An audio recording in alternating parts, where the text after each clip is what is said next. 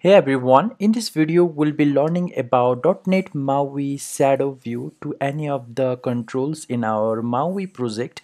And this is the .NET MAUI project where uh, I am integrating the shadow to the box view, label, buttons or anything as you like uh, to integrate those shadows to those uh, uh controls. So here I am giving the property for the box view as uh, 20 and uh, 30 property and you can just add any of the uh, property value to the box view as you like. So here we'll be coding in the C and uh, later we'll be using .NET MAUI community toolkit markup so that uh, it easy it's easy to get uh, lots of uh, bindings uh, property to really work on. So here I'm just re restarting the application and we'll just see the basic UI that is our box view with some shadows. That's it for now but uh, uh, our uh, main motto is to let you know about how the project starts that is our shadow page.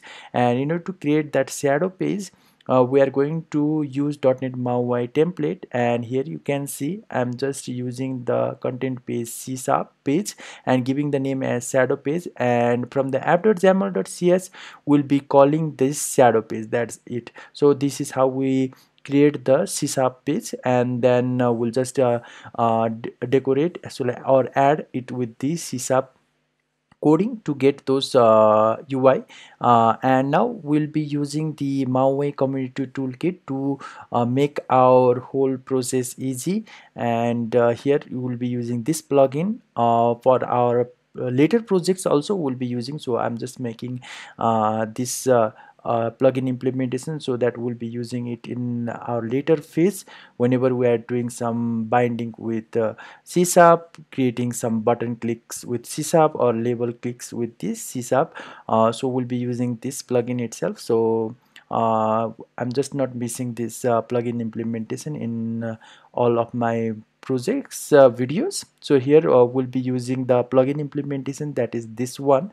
So we'll just copy it and then uh, paste it inside the maui program.cs so here you can see uh, here at uh, below the use case of a Maui app and uh, it will automatically reference this uh, using statement.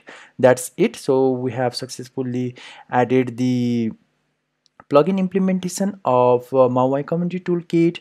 Now what we are going to is like we'll uh, we are, and this Maui Community Toolkit exposes some property for all the controls such as like height, width and uh, other properties too. So we'll be playing around with the properties. So here right clicking on the height it will just uh, ask us to quickly reference some of the NuGet packages. So that is uh, what we have previously installed and uh, we have using statement of Community Toolkit Maui.markup that's it. So here uh, the color won't be uh, added in the uh, using statement of .NET MAUI community as uh, community toolkit as of now because it does not have that implementation for that control. So we should expose it inside the uh, children of the box view itself. So here in this place that's it. Now we'll just run the application to see the resulting output. So let's wait for some time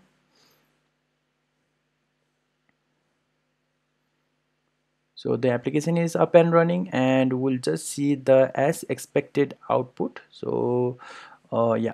So now uh, we'll just get the uh, output on our window. So here you can see we have beautiful box view with the shadow.